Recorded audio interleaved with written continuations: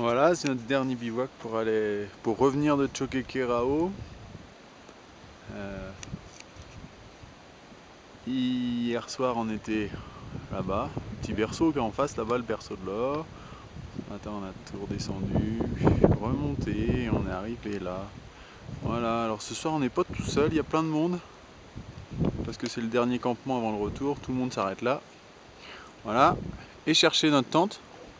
Voilà, c'est celle-ci. C'est toujours celle où il y a le plus de bazar. Hein. C'est ça, ça change pas. Voilà, voilà. Puis euh, bon, on va vous faire voir la vue qu'on a aussi. Voilà, sur la vallée. Voilà, ça c'est la vue de, de, notre tente. Voilà. Voilà. Il y a pire, hein. Il y a pire, il y a pire, il y a pire comme endroit.